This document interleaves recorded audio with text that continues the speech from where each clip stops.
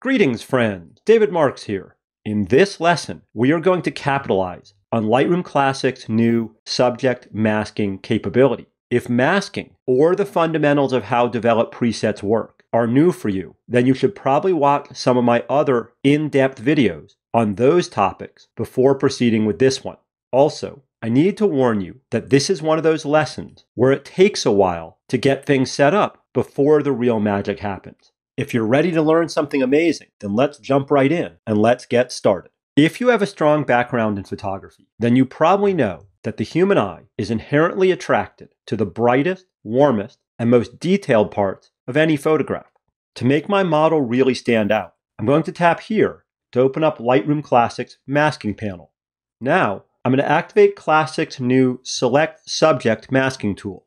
If you're wondering, I have the Show Overlay option turned on right now, which is why that red rubylith appeared to indicate the area that this mask is going to affect. With this selection in place, I'm going to bring the brightness and the contrast up a little bit. I think I'll also raise the shadows a little bit here too. Now, I'm going to tap on the three little dots icon beside this mask layer to rename this one. When this menu appears, I'll choose the rename option and I'll call this one Boost Subject Exposure. Let's take things further by repeating this process. To do that, I'll tap on the Create New Mask button and I'll use the Select Subject command again. This time, I'm going to shift the white balance toward warmer colors, but on this layer, I'm going to leave all of the exposure controls alone. While I'm in here, I'm also going to add a tiny increase into the saturation. Now, I'm going to rename this mask, and I'll call this one Boost Subject Color. Let's repeat this process one more time. Once again, I'll create a new mask using Select Subject, but this time I'm only going to adjust the texture, clarity, and sharpness controls. Let's rename this mask. And like the others, I'll name this one Boost Subject Detail. Now, let's save all of this work as a new develop preset. To create a new develop preset, I need to open up the left-hand panel. I need to open up the Presets tab. And now I'll tap on this little plus symbol here to create a new preset. When this big box appears, don't panic. I know this dialog looks intimidating, but we only need to push a couple of buttons in here to save our work. Starting at the bottom, let's tap on the Check None button. Next, let's tap over here where it says Masking and make sure that all three of the boost subject masks have check marks beside them. If all three of these have check marks, then they will be included in this develop preset. Next, make sure that the new support amount slider down here is also enabled. Now, let's give this develop preset a name. To do that, I'll tap up here and I'll type something like portrait subject boost. If your screen looks like mine, then go ahead and tap on the Create button, please. Okay, so now let me show you what we've accomplished.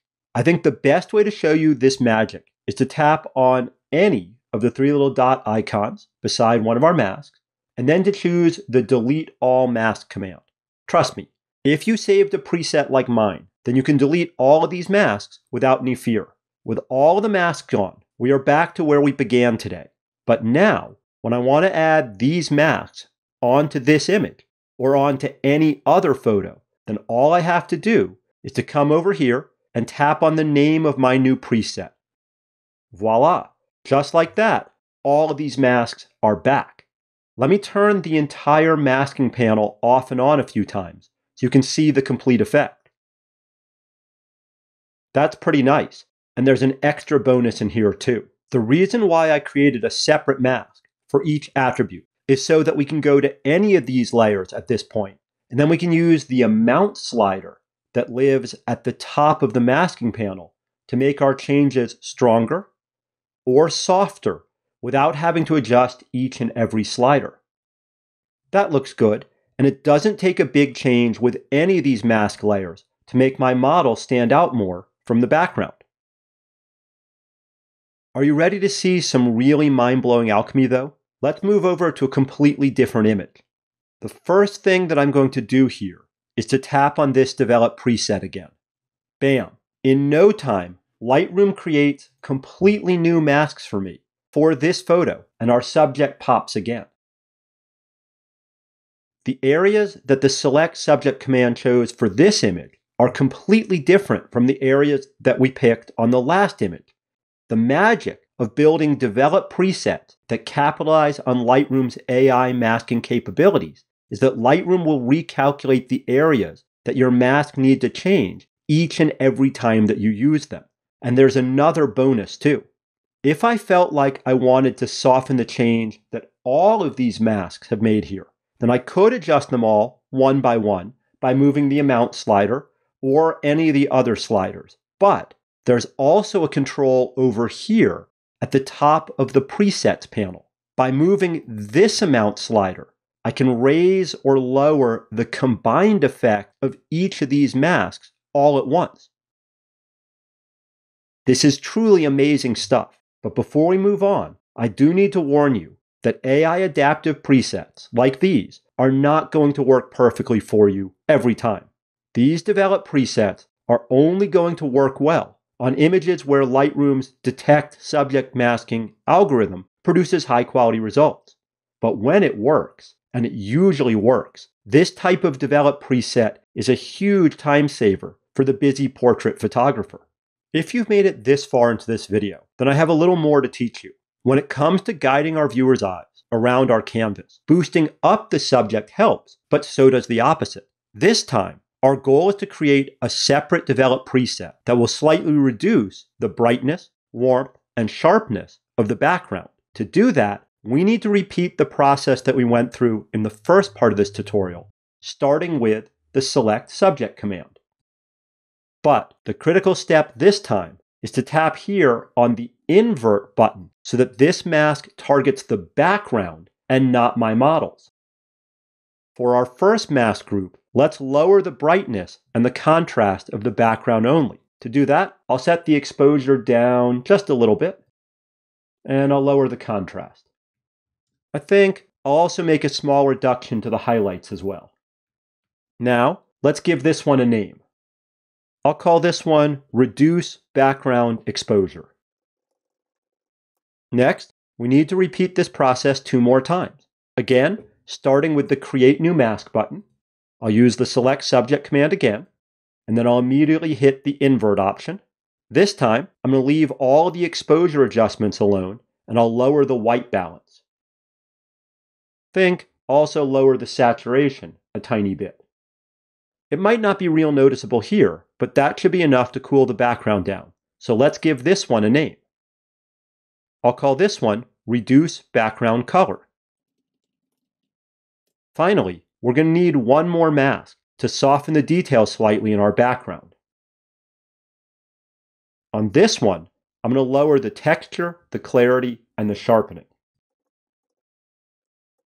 We'll give this one a name too, just like the others.